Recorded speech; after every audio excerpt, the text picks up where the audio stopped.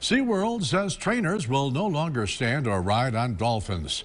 The move follows nearly a year of pressure from PETA.